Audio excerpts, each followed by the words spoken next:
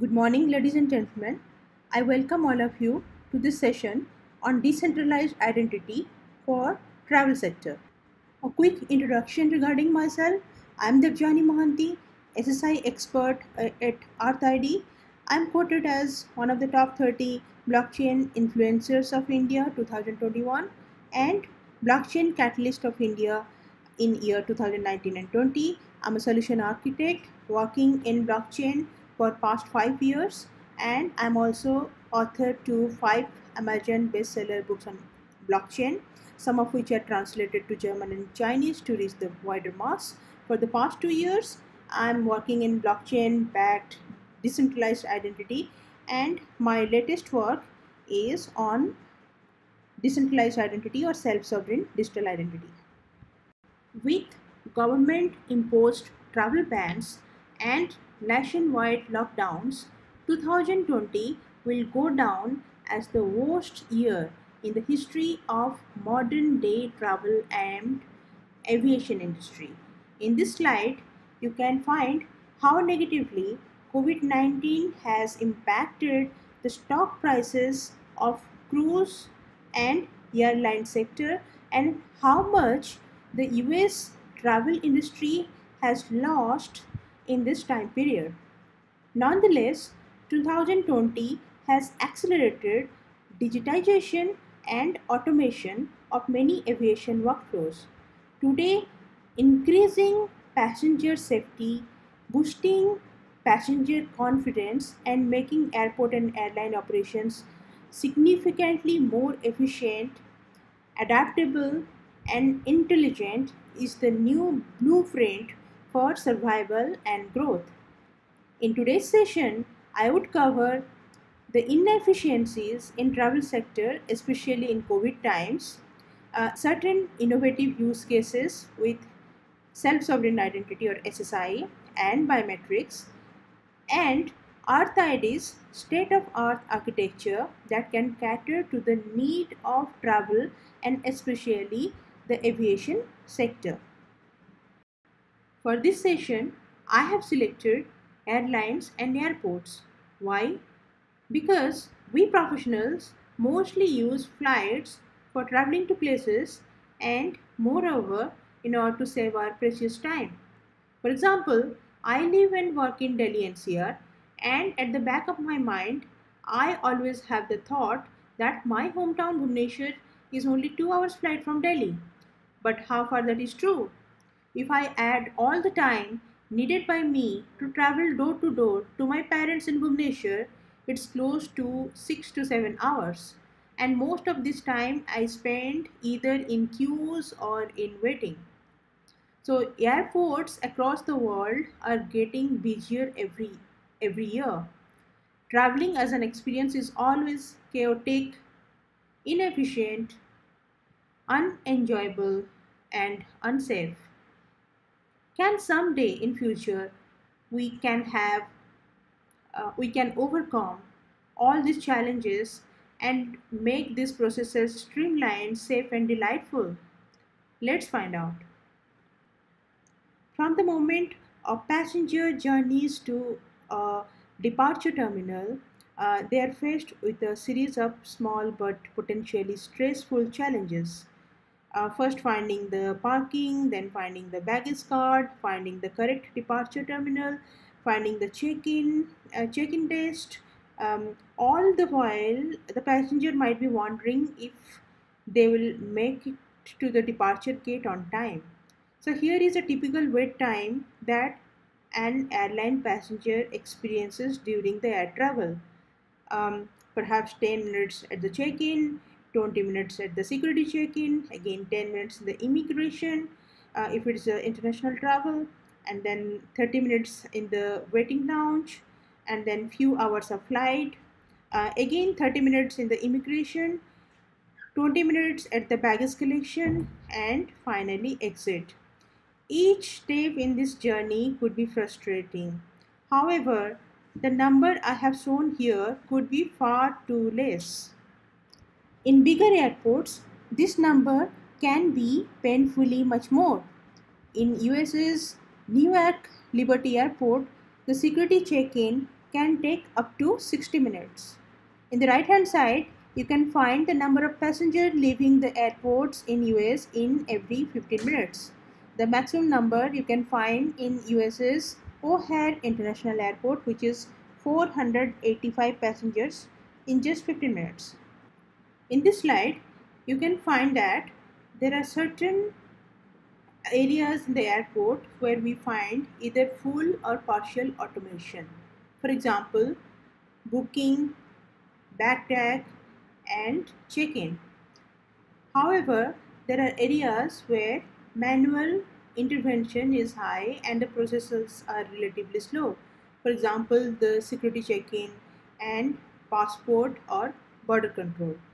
Obviously, you can find that the customer satisfaction is far too low in areas that are yet to be automated. Have you ever wondered why air travel is so time consuming and even if it's so, can these processes be streamlined? In this slide, you can find all the touch points of the journey where the user's identity is checked again and again. For example, booking the ticket, checking in, bag drop, security, border control, and finally boarding. Now let's see how the data related to the digital identity are stored and maintained in the existing systems. The first model that came some three decades back was the centralized server where we used either LDAP or Active Directory or RDBMS to store uh, a, a, separate state of user ID and password for each application. The second model is the federated identity model uh, where we used a separate identity provider that has a centralized storage again for storing the credentials and it handles the access to several third-party services. So in both these models, um, there is a possibility of mass hacking as well as single point of failure. Self-sovereign identity or SSI is a new decentralized model to manage digital identity. Here we have an issuer that issues verified credential to the user that is saved securely in the user's mobile device. At the same time, the issuer sends a signed reference hash to the public blockchain, signing it with their own private key. The user then can share the whole or part of the data to a verifier organization along with issuer's public decentralized identity. Now the verifier can convert the data to a hash and check if the hash of the data matches with that on the blockchain to know that whether it's valid. This example can be a scenario where the issuer is the passport office and the verifier is the visa office and the user is sharing as much data needed by the visa office with uh, the user's own full consent. At a later point of time, if there is a need, then the issuer can revoke the hash by altering a small piece of the data and the verifier knows that the data is no longer valid. This architecture ensures integrity, ownership, privacy, security, and the validity of the data. And please note that in this architecture, there is no centralized data store. SSI in real life is far too complex. Let's say that Alice is born in a hospital.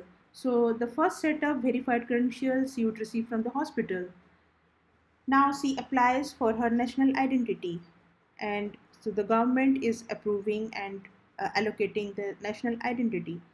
Then she is producing both these credentials to a school or a college where she goes for her education and on completion uh, the university is again issuing one more set of verified credential to the user and finally she joining an organization as an employee where she has to produce the certificates from all the previous issuers. So So all these kind of verified credential can be allocated and she can safely secure this in her own mobile device and as per the need she can share this information with different uh, verified organizations.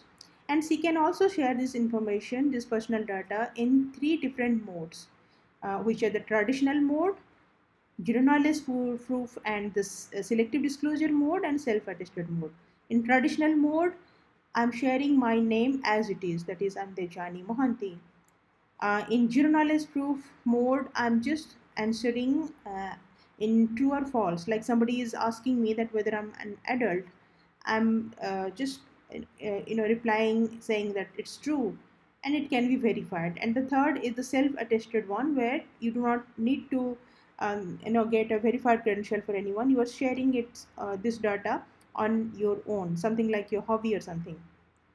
So again these data are um, you know, uh, actually the hashed version of this data is available on a public blockchain. So uh, this hash is created and uh, stored uh, by the issuers and the verifier can check the validity and the integrity of the data on the public blockchain. Again, I'm telling you that actual data doesn't go to the blockchain, but a hash of the data goes to the blockchain. The SSI ecosystem is usually pretty complex where we have to handle the web standards, uh, the authentication standards, the blockchain, and the decentralized identity network. In uh, SSI network, we have to handle many different layers. At the center, we have a public ledger or a blockchain. Then there is a private identity storage for each user or organization. We have an agent or hub for message transfers as well as to replicate the data and we have to handle a client device for each user. Ecosystem of a self-sovereign identity network is not limited to only data sharing. How do you get access to such a system? How do you save different type of personal data? Um, well, for an individual, it's the mobile device or IPFS or cloud storage. However, for an uh, for I mean if you have to store the biometrics data it has to be saved only in the mobile device um, uh, whereas the other data can go to the IPFS or can be stored in an encrypted manner either in the device and on the cloud storage. So here you can see that Alice has got all her personal data saved in her own mobile device. So this personal data can be um, in a verified credential which are alphanumeric in nature like the name or date of birth uh, blah blah blah as well as the biometric templates whereas Bob has his data stored in his mobile device as well as a copy on the IPFS or the cloud storage so that if the mobile is broken or stolen or lost then he can um, get retrieve all this information again from the uh, storage. For an organization, the data can be stored on the cloud storage. And again, we have a public DLT, which is responsible for the creation of the decentralized identities and um, the reference hash of the claims. And also here, we are able to do any kind of revocation if needed. Now it's time to explore a travel based use case. In this use case, the user has a smartphone running EarthID's app on it. The user already has passport, visa and biometric details verified and saved as verified credential in digital form. Now the user visits the airline's website for booking ticket, producing passport, visa in verified credential form. The airline ask for COVID test result and if the user doesn't have it, then the airline redirects the user to couple of labs from where the user can get tested for COVID. Now the user visits the lab and get himself or herself tested for the COVID. The lab shares a verified credential with the user that the user can save in the mobile phone The lab also writes a hash of the VC to the blockchain, signing it with own private key. Now the user visits the airline website again for booking the ticket and now the user can produce passport, visa details and the COVID test results and also can share live biometrics. The airline checks all these details and matches with user's face uh, that is there in the passport and if the payment is through then the airline can send a verified credential to the user's mobile phone which is the ticket, the digital ticket. The airline also writes a hash to the public blockchain signing it uh, with its own private key. Now comes the day of travel. So as soon as the user enters the airport, the user shares all this verified credential with the airport server. Now the airport server checks the hash of the verified credential on the blockchain and if it matches then through cameras the airport server can also match the face biometric template of the user with the one that is on the verified credential and and also matches the hash that is stored on the blockchain and if all valid then the check gates can automatically sense it from a distance and they can open it for the travel for, uh, of the user till the uh, check gates so uh, the user doesn't have to showcase any of the physical documents in any of these touch points. So the advantages of this model are uh, many um, and here the governments uh, can verify the authenticity of the test and can also identify the people who are tested. Um, the airlines has the ability to provide accurate information to the passengers and on the test requirements. Um, and the laboratories have a means to issue digital certificate to the passenger um, that is recognized by the governments and their travelers have got all the accurate information on test requirements. They're able to know that who are the labs who can get them um, uh, tested and from where they need to be vaccinated. So all this information can be shared in a, uh, in a safe way and with uh, utmost privacy and security. Now let's explore some of EarthID's area of research. The success of a SSI product depends on many different factors. So the first is what kind of crypto or what kind of public key infrastructure we are using uh, so that we can have a safe and secure data transfer. Secondly, uh, what is the scalability and throughput of this model? can it cater to the needs of millions if not billion uh, in the future because uh, we all know that uh, this uh, decentralized identity is for um, you know general public and their devices. So we need high scalability here. Third is uh, is the uh, cybersecurity part handled efficiently. Um, and then is the solution interoperable? Can it be integrated with other decentralized identity network effortlessly, then what kind of selective disclosure or zero knowledge proof model has been implemented here? Uh, is it robust enough to compare different type of integer values in different modes? For example, greater than, smaller than, not equal to, uh, etc. Um, very important factor here that who are the validator nodes. So here please note that the public blockchain that we would be using in a SSI network needs to be very different uh, from uh, that in Bitcoin or Ethereum. The consensus model here should not be proof of work um, as Bitcoin has um, or Ethereum one had, uh, which is slow and expensive. What we need over here is either proof of stake or proof of authority.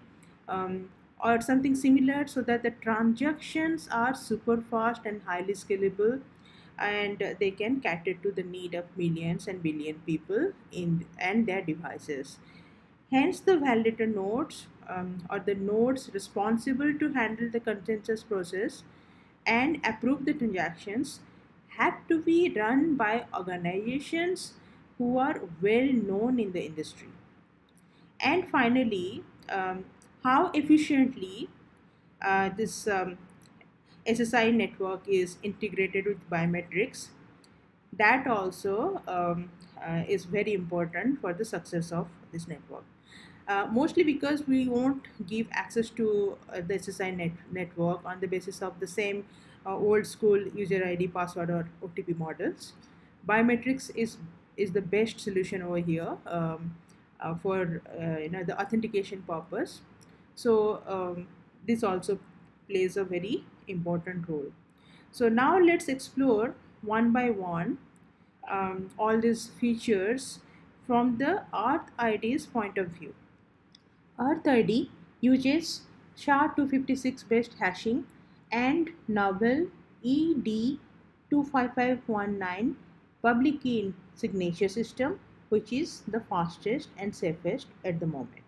Earth-ID is backed by the Hashgraph DLT which is well known for its scalability and throughput and Hashgraph is already tested with 10,000 transactions per second and up to 6.5 million transactions per day with finality within 5 seconds. EarthID uses Hashgraph DLT which is resistant against DDoS, Sybil and spoofing attacks. EarthID is working on integration with other DID networks and with other layers as per the requirements of business. EarthID SSI network can share data in traditional zero knowledge proof or self-attested modes. EarthID uses finest homomorphic cryptology algorithms for comparing integers in zero knowledge proof mode. For example, we can compare integers um, uh, as greater than equal to, less than equal to, greater than or less than or not equal to modes uh, to find out a boolean as an output. EarthID uses Hashgraph that has a council of 19 multinational corporations from around the world to govern the platform and the software that will run on millions of nodes globally. To reach the consensus, instead of mining or proof of work, nodes on Hashgraph gossip with each other comparing nodes on the transaction history of the network. So Hashgraph's validator nodes are industry leaders in different verticals as Google, IBM, Wipro, Deutsche Telekom, FIS, Tata Telecom, etc., uh, who are the organizations that the industries can trust.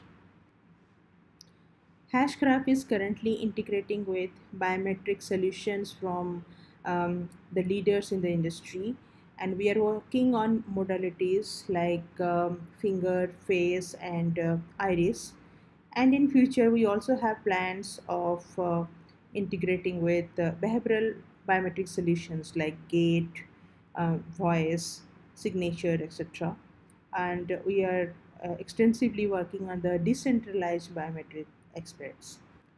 So at earth id we are um, on the process of building a state-of-art architecture for self-sovereign identity.